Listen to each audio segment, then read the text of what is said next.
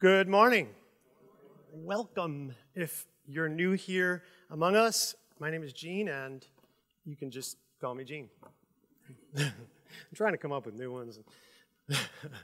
Today, before we begin, I want to share with you a very popular historical sermon illustration. It's been used for many, many, many years since the birth of our country. Kind of threw me for a loop because I started second guessing myself on some of the details. And so if I get them wrong, well, you can just complain to me after the service directly. anyway, so if you're familiar with American history, and it turns out a lot of people aren't because I was asking questions this morning and no one could really give me the answer. But crossing of the Delaware River probably saw the painting. I'm assuming that these two events are connected. Otherwise, blame all the pastors who came up with these illustrations before me. But anyway, Battle of Trenton, New Jersey. Right, so I think I got it right. Military people, is that correct? Cross the Delaware River. Anyway, Trenton, New Jersey, there's this German commander, commander over even the British troops, General Rall, or no, Colonel Rall. Colonel Rall. And he's there hanging out, playing cards.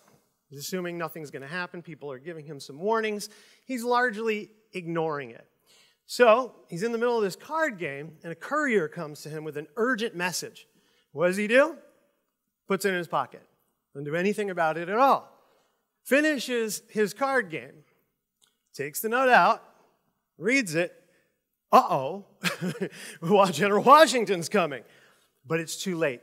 So it ends up costing him his life a whole bunch of his men and everybody else is captured. It was too little, too late. It was written about him later, and I'm not sure. I tried to look this guy up too, Norbert Quayle, but the statement is poignant.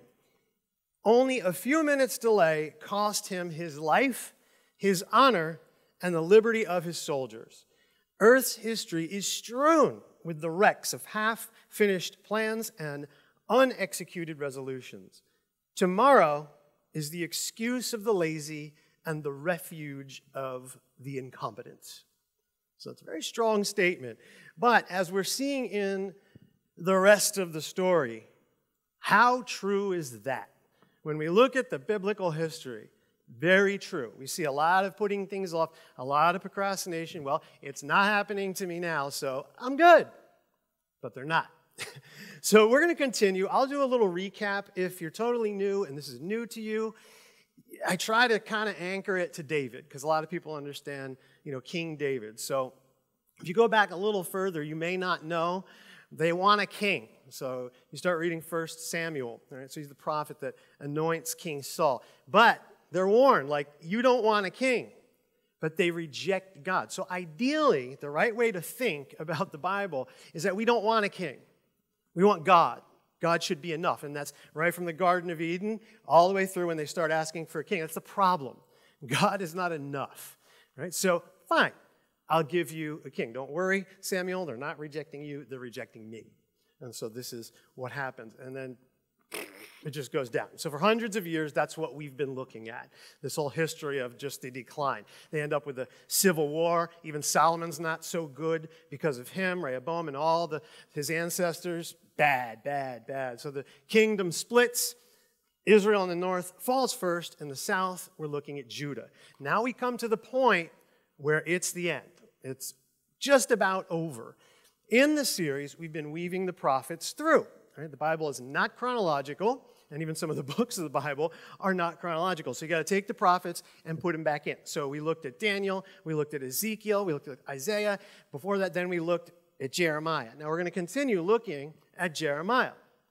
So here's the thing it gets confusing, but the backdrop here now is that Nebuchadnezzar, the king of Babylon, took away Jehoiachin. And so there's a king with Ezekiel over there, right? There's also a king Zedekiah, the puppet king that he put in charge. So that's just, just the context of what's going on here. That's what's going on in the background. So, what I did because of these parallel accounts, I made you a chart. All right, the jokes about the cartoon uh, are done. I'm done with those. So we're just going to move on, but I didn't draw that. I can't draw like that. But I made the chart, and like I got about halfway through and wish I didn't it's very confusing. So, about halfway through this series, or where we are now, I got a parallel Bible. Someone asked me, is there a chronological Bible? Finally found one. It's like, okay, this helps a little bit. But some of the places I was like, I'm not sure about this really, right? So I got another chronological, I, someone gave it to me actually, it's a very old one. And I'm like, goody, uh, another chronological Bible. No, it wasn't good at all because the two Bibles don't disagree, they don't agree with one another. So even scholars cannot make up their minds on this and where it goes. So I tried my best to put this together from scratch for you, but it's so much that you can see there's two columns, right? So one, two, then you got to move over and go down. And you could see how some of the books of the Bible, they run in parallel, right? And then all of a sudden it breaks and we got to hop over to Jeremiah. But you see, even when you're in Jeremiah, it's not chronological. So in order to put it together, you have to start like tearing out pages and putting them, don't do that. And putting them back, just, you can use the chart. If you want the chart, it's in the app, or it should be in the app. If you really, really want the chart, you can email me, right? So come up to me after service, we'll exchange information, and I'll email it to you. Did I say email it to me? I don't know. Anyway, second guessing myself a lot today. So as you can see, Really difficult to put together, but it's interesting, and that's how we're going to run today. Don't worry, I'm not going to read all of it to you. We're going to get out of here in time for lunch upstairs. Um, one thing to note if you're a real Bible nerd, I left out some of the prophecies to the other nations. So, what I want to do, you got to balance this stuff like chronologically and topically. And so, I want to focus on Zedekiah and Judah, right? So, I don't want to get too distracted but I told you I'd send it to you. You don't have to write it down. Diligent student. Keep writing. It's good. I like that. They're great. But anyway, so I'm just, I want you to focus on this particular part of the story, right? So if you start jumping around too much, you're going to be like, you know, where are we? It's already very confusing. So we're going to start off here in parallel-ish. So we're going to go to Second Chronicles 36, and here we have Jeremiah 52 and Second Kings 24 kind of lining up. Put that up on the screen there. All right. So I'll do Second Chronicles first because there's some different-ish information. Zedekiah, so that's the king, the puppet king that's left there, was 21 years old when he became king, and he reigned in Jerusalem 11 years. But Zedekiah did what was evil in the sight of the Lord his God, and he refused to humble himself when the prophet Jeremiah spoke directly to him from the Lord. He also rebelled against King Nebuchadnezzar, even though he had taken an oath of loyalty in God's name. Zedekiah was a hard and stubborn man, refusing to turn to the Lord, the God of Israel. So, similar information in the next two, and then it gives us kind of like a window into what's going to happen, right? He's finally banished, right, from his presence and sent, he gets sent into exile. So there you go. We get the point. Moving on. Now we'd have to go and jump over to Jeremiah 37, just like that with the noise and everything. Jeremiah 37 1 Zedekiah, son of Josiah, succeeded Jehoiachin, son of Jehoiakim, as the king of Judah. He was appointed by King Nebuchadnezzar of Babylon, but neither King Zedekiah nor his attendants nor the people who were left in the land listened to what the Lord said through Jeremiah. Getting a theme here? Not listening. Nevertheless, King Zedekiah sent Jehucal, son of Shelemiah, Zephaniah the priest, son of Maaseiah, to ask Jeremiah, Please pray to the Lord our God for us. Jeremiah had not yet been imprisoned, so he'd come and go among the people as he pleased. At this time, the army of Pharaoh Hophra of Egypt appeared at the southern border of Judah. When the Babylonian army heard about it, they withdrew from their siege of Jerusalem. Then the Lord gave this message to Jeremiah This is what the Lord, the God of Israel, says The king of Judah sent you to ask me what is going to happen. Tell him, Pharaoh's army is about to return to Egypt, though he came here to help you. Then the Babylonians will come back and capture the city and burn it to the ground. This is what the Lord says Do not fool yourselves into thinking that the Babylonians are gone for good. They aren't.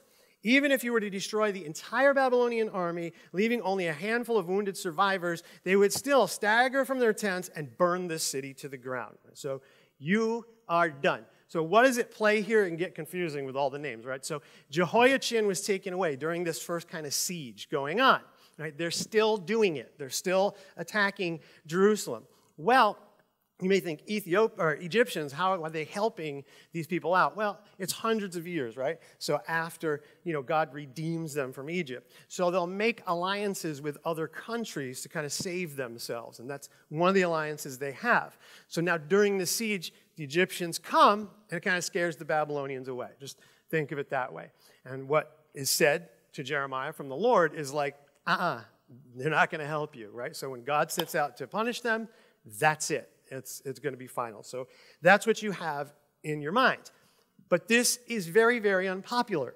so, prophets, not popular people. Jeremiah 37 11. When the Babylonian army left Jerusalem because of Pharaoh's approaching army, Jeremiah started to leave the city on his way to the territory of Benjamin to claim his share of the property among his relatives there. But as he was walking through the Benjamin gate, a sentry arrested him and said, You're defecting to the Babylonians. The sentry making the arrest was Arijah, son of Shelemiah, grandson of Hananiah. That's not true, Jeremiah protested. I had no intention of doing any such thing. But Arijah wouldn't listen, and he took Jeremiah before the officials. They were furious with Jeremiah and had him flogged, like beaten and whipped, and imprisoned in the house of Jonathan the secretary. Jonathan's house had been converted into a prison. Jeremiah was put into a dungeon cell where he remained there for many days. While he's in prison, Zedekiah is kind of curious. Right? So he sends for him all the time. He's constantly asking him questions, right? So, do you have a message from the Lord? Yes, I do, Jeremiah says. He's like, You will be defeated by the Babylonians. Now, Jeremiah then levels his complaint. Why am I in prison, basically? What crime have I committed? Why am I here? I'm going to die if you keep me in prison. So, Zedekiah, at first, he's like, okay, let him out, give him bread as long as we have any, right? So just take care of him, and he puts him in better quarters. He puts him in like the jail in the palace. So it's nicer, it's more comfortable there. But here's the thing Jeremiah has some haters. So if we turn the page, Jeremiah 38 1. Now, Shephatiah, son of Mattan, Gedaliah, the son of Pashur, Jehucal, son of Shelemiah, and Pashur, son of Malchijah, don't try that at home, or do, heard what Jeremiah had been telling the people. He had been saying, This is what the Lord says Everyone who stays in Jerusalem will die from war, famine, or disease. But those who surrender to the Babylonians will live. Their reward will be life. They will live. The Lord also says, the city of Jerusalem will, be, will certainly be handed over to the army of the king of Babylon who will capture it. So these officials went to the king and said, Sir, this man must die.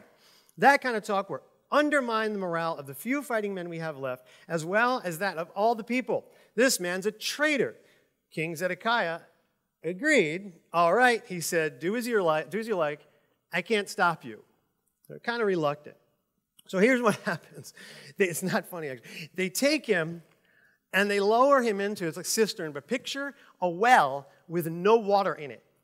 What's at the bottom of a well that used to be a well? No, lots of mud. So picture like quicksand. He gets stuck down in the mud, and they just leave him there for dead. They're like, "You're done." So really horrible punishment.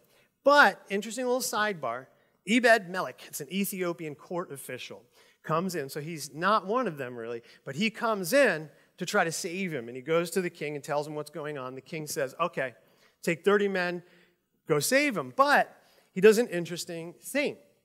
He's smart. He's prepared. He goes and gets some rags, essentially, because he knows what, how are we going to pull him out, right? Not with chains and a winch, right? So we're going to use ropes. But what are the ropes going to do? They're going to hurt when you try to get him out of the mud. So he throws the rags down and has him cover his arms with them. So not only does he save him, he's very, very kind to Jeremiah. Right? So Jeremiah, it says, was returned to the courtyard of the guard and placed in the palace prison at this time. So now what you have is, again, this back and forth between Jeremiah and the king. He's sending for him, and at first he's like, You're not going to listen anyway. Right? You're not going to listen to my advice. So whatever, you know, what, why should I bother? But he says, No, I, I want to know. And he lets him know basically, you need to take this punishment, and it'll go well for you. But if you keep rebelling against, if you stay here in the city, not so much. Even the women are going to taunt you when this happens, right? So, what's the idea? The big idea again is that they're supposed to take this punishment, but it's not yet really coming for him. So Zedekiah thinks, like, I'm just better in my current condition. He's also afraid of the other exiles that are there, right? Remember, he's the puppet king. The real king is there with the exiles taking the punishment. So they might kill him, he thinks. So the idea, again, going back, like, what is going on here? Like, why is the Lord, if you're new, punish him? Remember, these people have done horrible things. They've killed their children. So they're not just worshiping other gods like we do in church, right? They're, they're really like putting their money where their mouth is. They're killing their own children to these gods, and that's detestable to the Lord. That's very wrong. That's just one of the things that they're doing. So, and when they run out of food, what are they doing? Eating their own children. So it's just, they're terrible. They deserve this punishment. And the idea is that God, and He can use anything, is using the Babylonian king to enact this punishment on them. That's it. He's a tool for the Lord. They need to take it. So the equivalent of like Zedekiah would be like, hey, go in time out. And your kid goes, nope, I'm staying right here and watching TV, right? So that's, that's what's going on here. They're being stubborn, they're not taking it. But there's extreme procrastination going on here. He figures, I'm good. It's not happening yet. Okay. So now if we jump around, I'll give you the chart for just a second because this is where, if you look at the top middle, that's where Ezekiel came in. So I haven't been doing this completely chronologically, again, because I want you to get the topic, right? So we saw two different things the watchman on the wall, right? And then we moved on to Ezekiel. The bulk of Ezekiel happens a little bit later. So this was the watchman on the wall stuff and the Ezekiel bread. Remember, we talked about that. Kind of funny. So that's where that happens. And then we go back to Jeremiah 27. And so on Jeremiah 27, this message came to Jeremiah from the Lord early in the reign of Zedekiah, son of Josiah, king of Judah.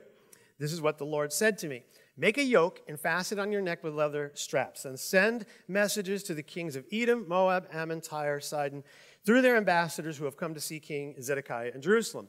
Give them this message for their masters. This is what the Lord of heaven's armies, the God of Israel, says. With my great strength and powerful arm, I have made the earth and its people and every animal. I can give these things of mine to anyone I choose. Now I will give your countries to King Nebuchadnezzar of Babylon, who is my servant. I have put everything, even the wild animals, under his control. All the nations will serve him, his son, and his grandson until his time is up. Then many nations and great kings will conquer and rule over Babylon. So you must submit to Babylon's king and serve him. Put your neck under Babylon's yoke. I will punish any nation that refuses to be a slave, says the Lord. I will send war, famine, and disease upon you, upon that nation, sorry, until Babylon has conquered it. So, a yoke, not an egg. Right? So it's something that like two animals, you put that over them so that you know you can use them, they stay in the same direction to plow a field. Right? So you're going to be put under a yoke like that, like plowing slave animals, right? That's the idea. Well, there's a lot of false preachers out there. And so there's warnings about that, right? False prophets. They're promising that there's going to be prosperity. So that's the backdrop here.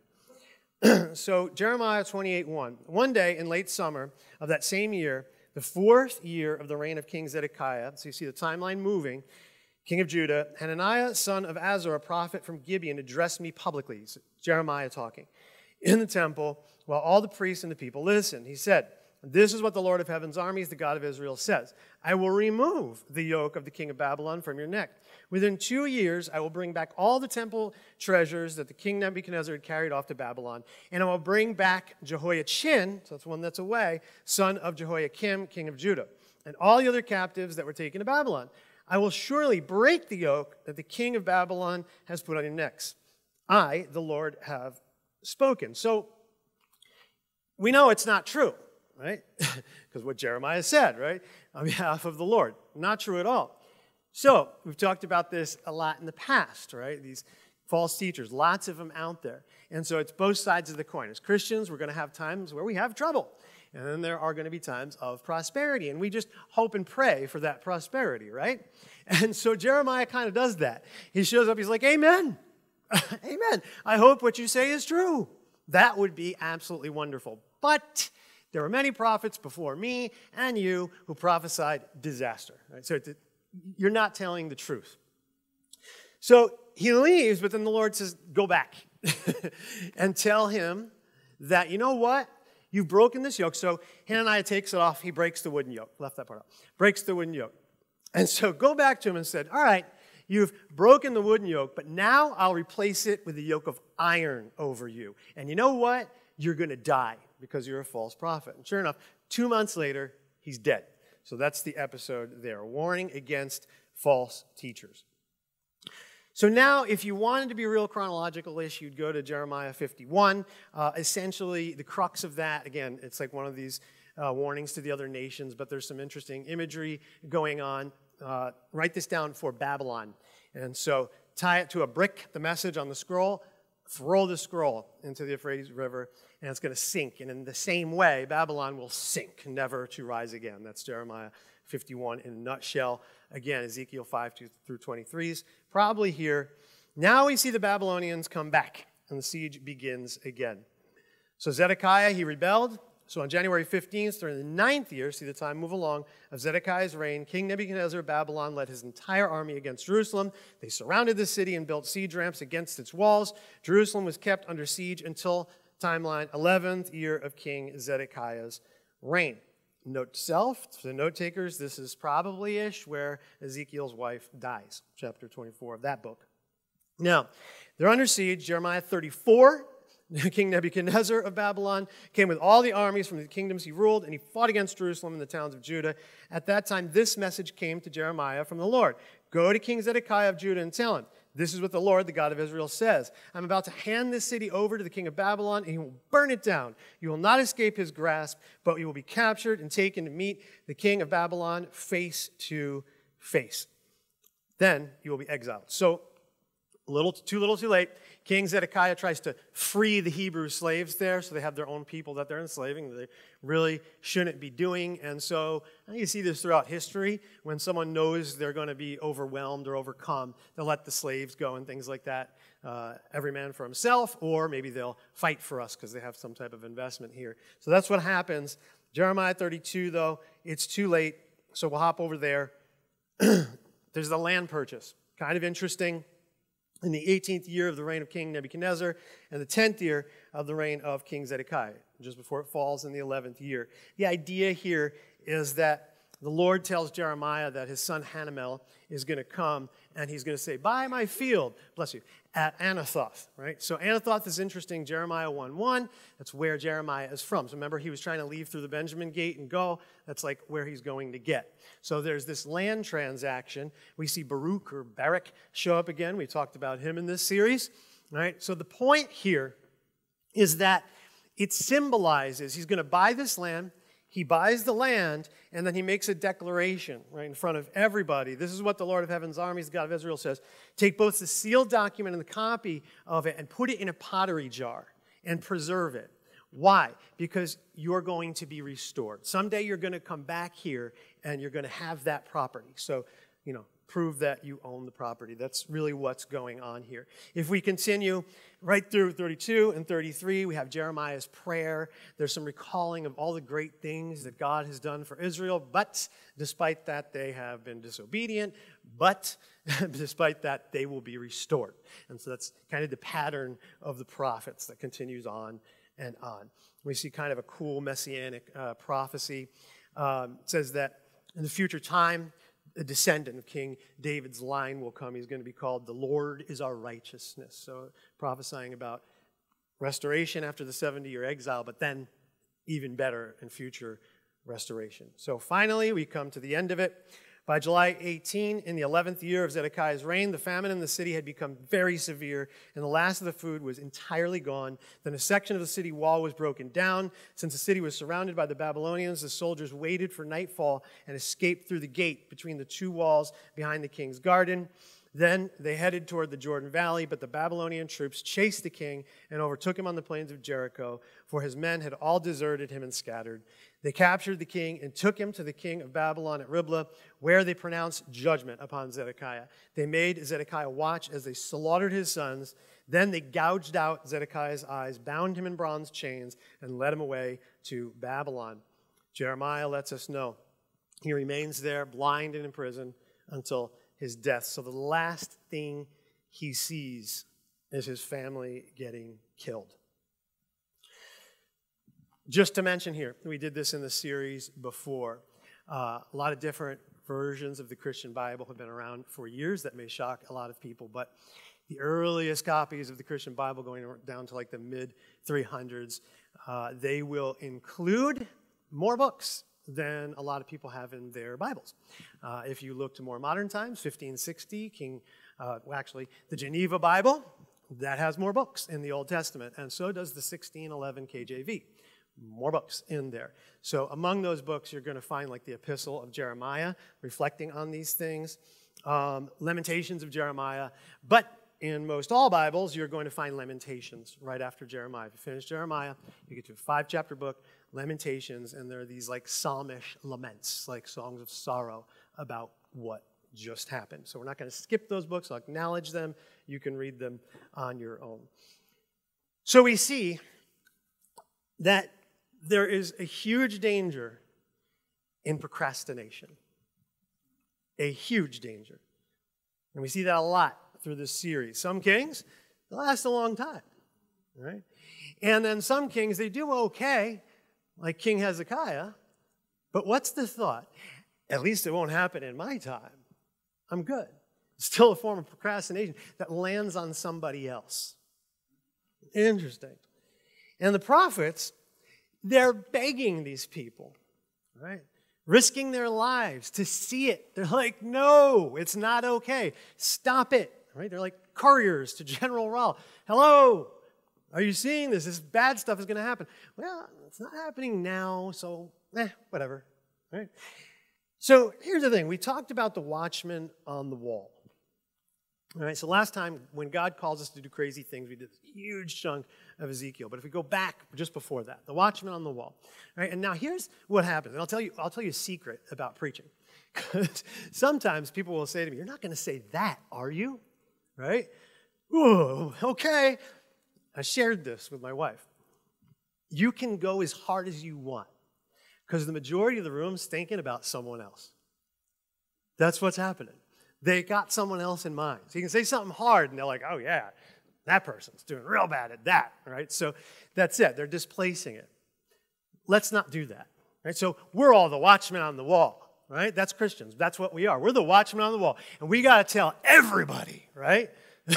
You're going to hell. You know, like that's that's our job, right? We got to get out there and do that.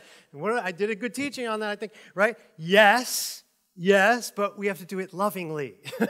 That's the way. And once they've heard it, they've heard it. The blood's not on our hands, but we just like keep doing it to the same family member, right? Like over and over and over and over and over again. It just gets them more stuck in the mud. Doesn't get them anywhere. How's it working? Have they changed their mind after like 30 years of saying the same? No. No, right? But we're the watchmen on the wall. That's how we picture ourselves. Okay, how about we turn it around? What if instead of the watchman, we do that? What if we just hold up a mirror? Right? What if the, we're the, the ones, the recipients of the warning? Let's look at the other side of that today. It might be healthy. So, Zedekiah, he was warned, but he procrastinated, right? Doesn't heed the warning. And there were others that were happy to encourage him to stay put, like Hananiah, the false prosperity prophet. But it had consequences. They were warned, but they didn't act on it. So again, theme of the watchman. A lot of people don't know Ezekiel 3, that's where that is. It comes up again in Ezekiel 33. Then after it, we see this. Pay attention. Ezekiel 33 30. Son of man, your people talk about you in their houses and whisper about you at the doors. They say to each other, Come on, let's go hear the prophet tell us what the Lord is saying. So my people come, pretending to be sincere and sit before you. They listen to your words, but they have no intention of doing what you say. Their mouths are full of lustful words, and their hearts seek only after money. You are very entertaining to them like someone who sings love songs with a beautiful voice or plays fine music on an instrument. They hear what you say, but they don't act on it. But when these, these terrible things happen to them, they'll, as they certainly will, then they will know a prophet has been among them. So they listen, but have no intention of doing what you say. Ezekiel I feel you. Are we any different in the church today? Are we any different, right?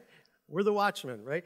But Are we any different? And this is a big thing we asked ourselves. We did a Corinthians series like 10 million years back, right? So you don't remember it. But anyway, this was the thing, right? So a lot of Christians, if you're familiar with First Corinthians, especially, you know, they're crazy. And so I did a whole book and a whole series, Those Crazy Corinthians.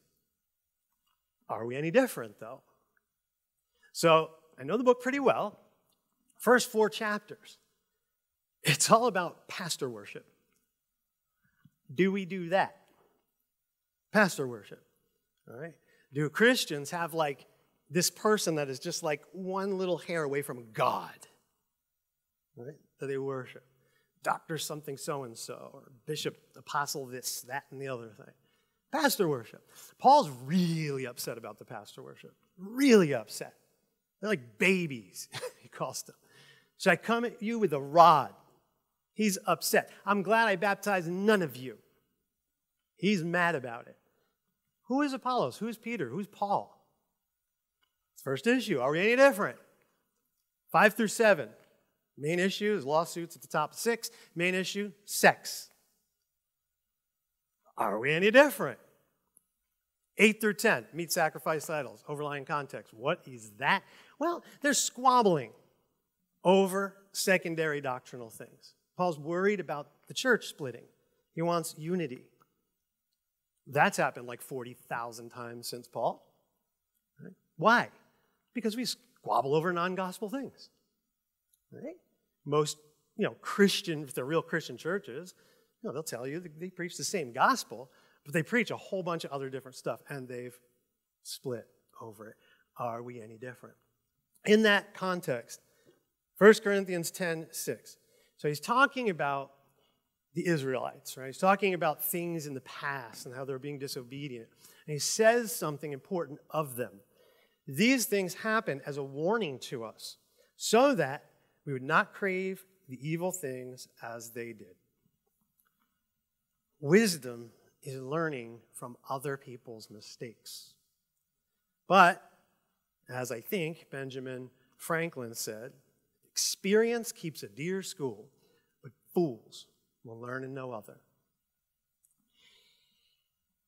A lot of people ignore these warnings because nothing really bad is happening right now. Like Zedekiah, right? Still got my palace, I've got all my stuff. I'm good. Nothing bad's happening.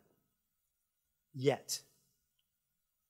People ignore the warnings because they're in this like little comfortable space. It's not that bad. But yet, you're eligible too. Right? You're a watchman on the wall. Careful. Remember to be humble and receive the warning. It's not happening yet. So maybe the consequences haven't come yet. But what happens when the future becomes now? Now.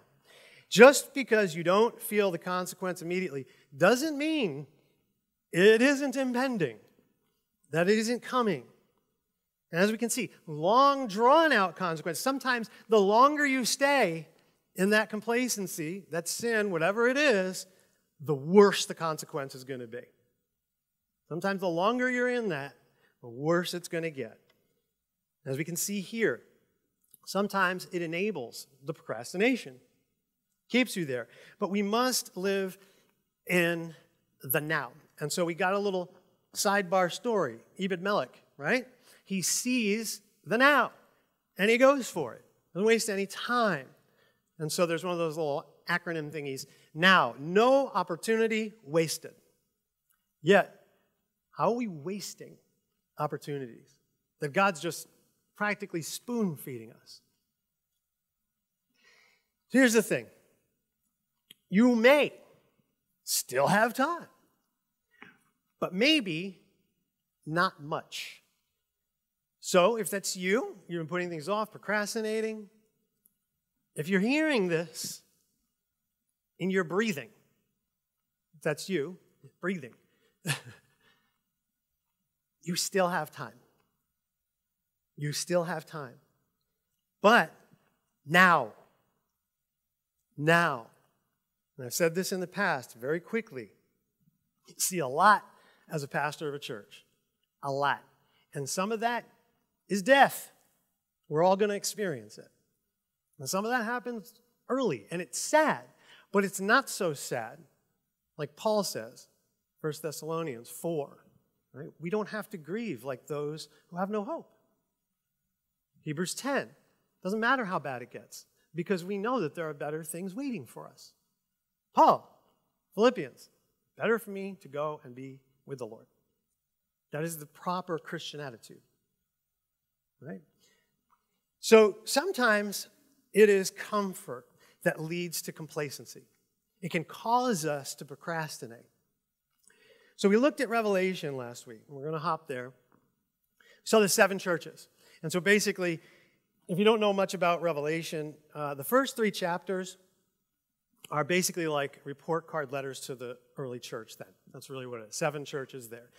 And five of them, it's essentially like you did this well, or we're doing that well, but, and then all the bad things they're doing. Only two churches get a pass.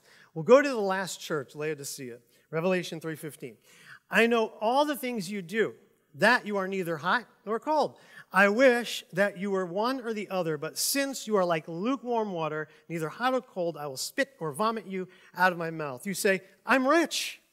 I have everything I want. I don't need a thing. And don't you realize that you're wretched and miserable and poor and blind and naked?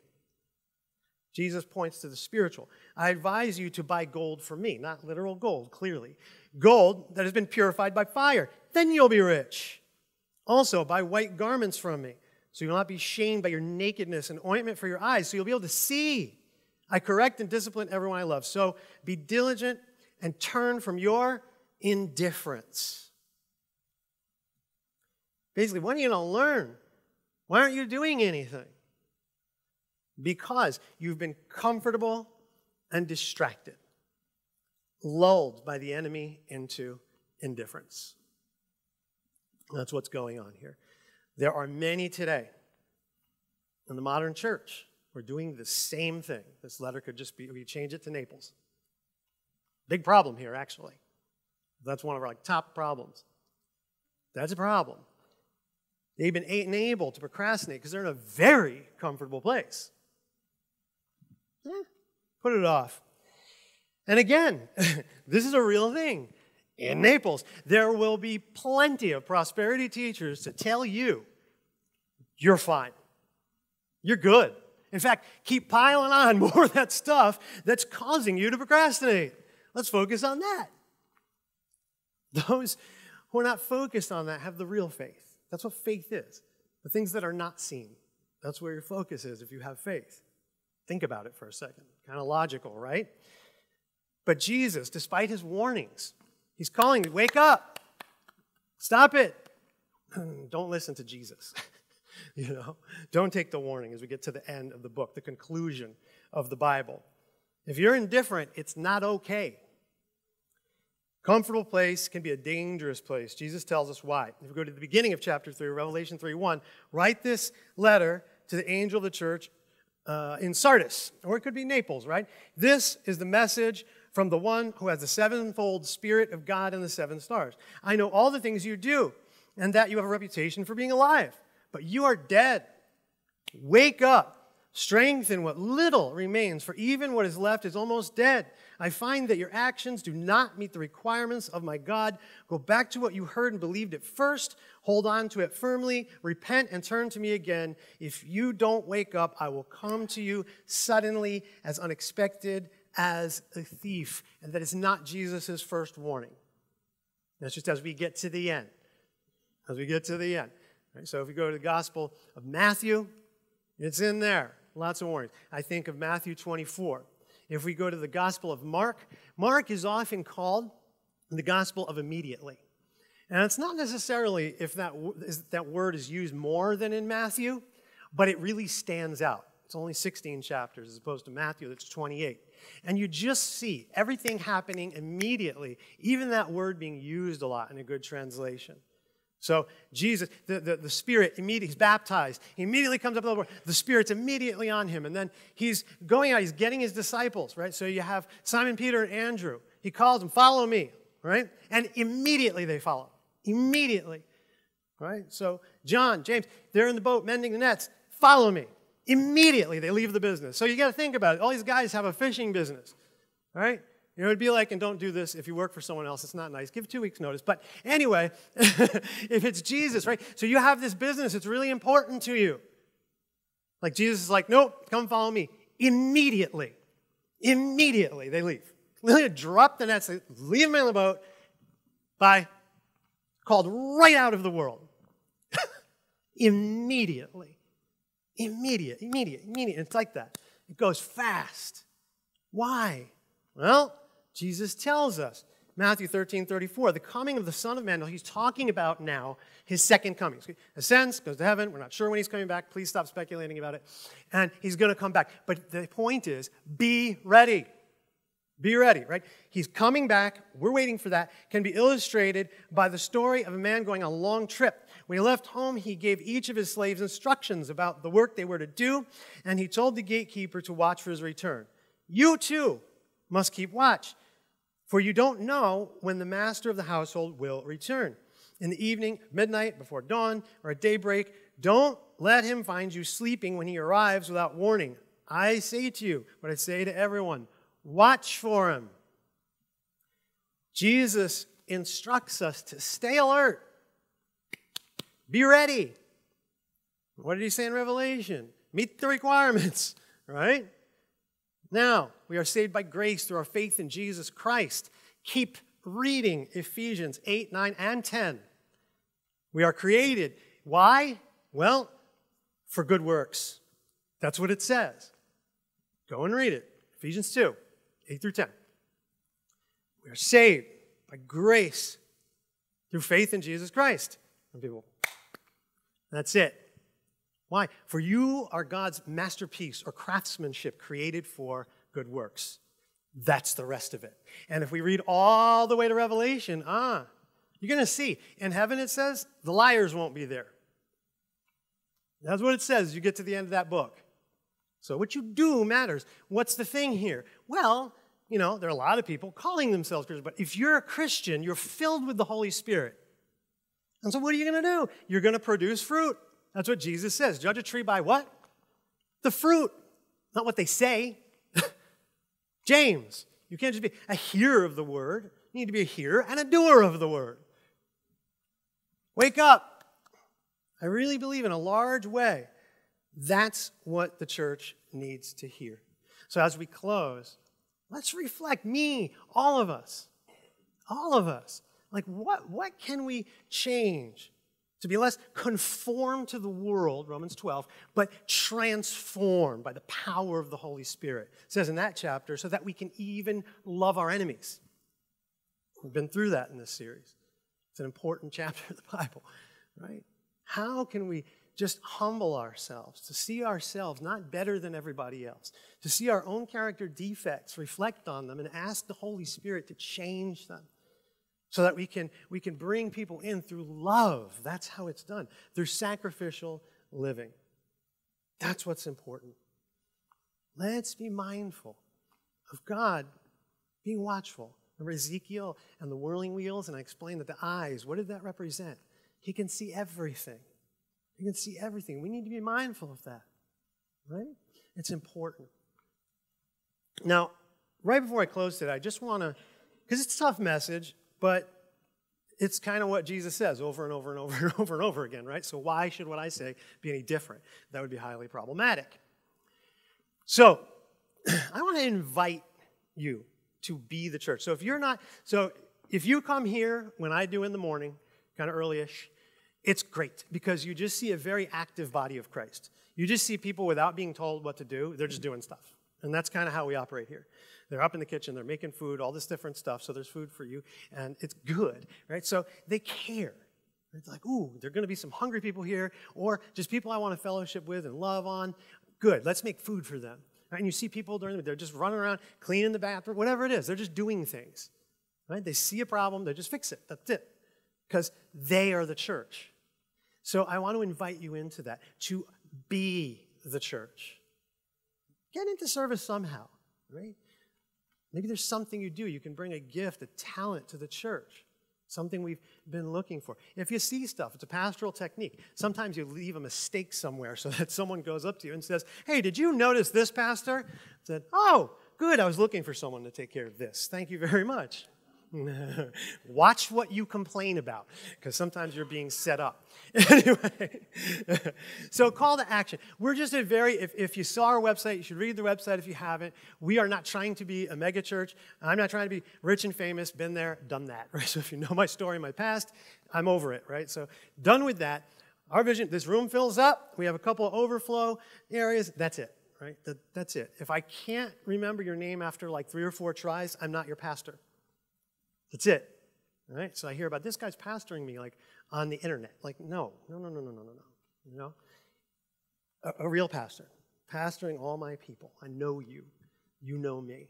What? We're developing relationship. And so that's one of the things I just want to share with you. So after the service today, if you've never met me, you want to come up and meet me, that's fine.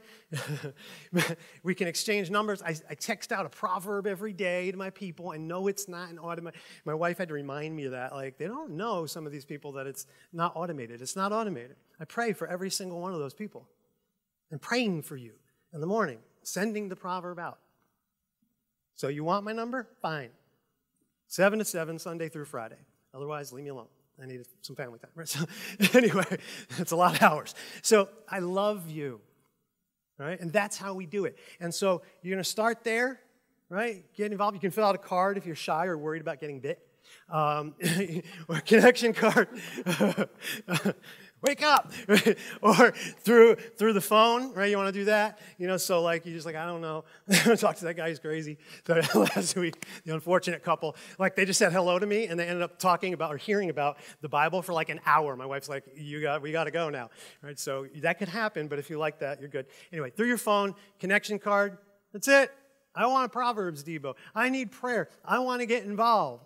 I know some of you got to go that's fine right after church. But during the week, you're going to be told about opportunities you're going to have to serve. Really important. I just want to end with just this encouragement to you. I showed it, or I had them show it like two or three weeks ago.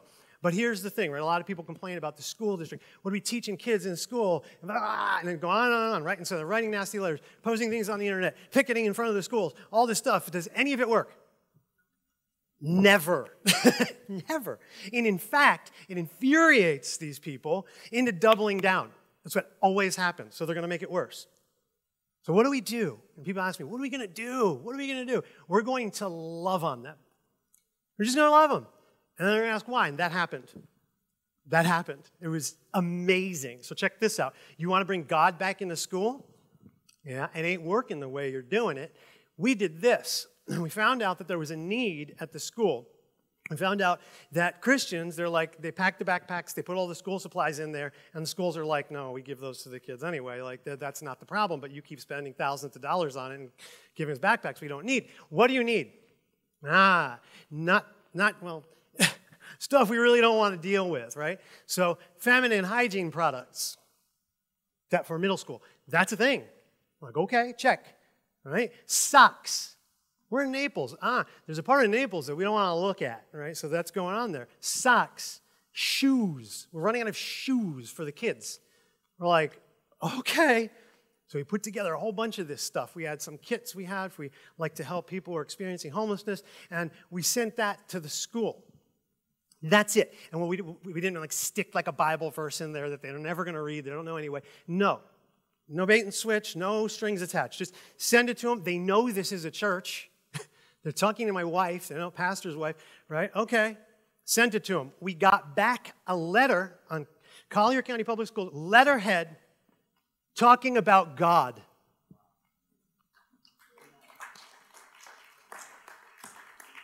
Now people will know where to go when they need help, is basically the crux of what they were saying. See how it works? Results. So just went a little bit longer today, but I think it's worth it, right? Praise God. Praise God. Don't worry, we'll feed you afterwards too. Praise God. That's how you make God known through love. Just love them. Love them. Love them. That's my encouragement to you. So, effectively, just together as a body, that we're getting stuff done. That's what you're supporting when you support this church. That. We want to be just a beacon of light in our own community. That, and we support foreign missions too, but just we got to get it well here first, right? Probably a good idea. Love. And so just indiv- corporately we love, individually love. Do the same thing. You disagree with somebody's choices in their life, where can I meet them? What do they need? Serve them, love them. You might change their mind that way. I've seen it happen.